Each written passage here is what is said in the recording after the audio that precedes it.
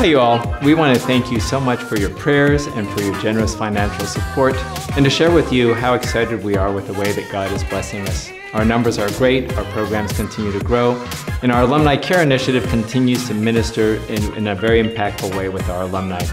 We praise God for this, don't we, Dr. Walters? Yes, indeed, Dean Bronkema. And as both an alum of the seminary and the university, one of the things that I'm really love is the fact that the seminary both contributes significantly and benefits from the university. The contribution to our chapel weekly and our diversity, equity, and belonging initiative is a great blessing. We are so thankful to God for all of this, and we're also thankful for you. And if you feel the Spirit leading you to continue to support us financially, that would be wonderful. Thanks so much again.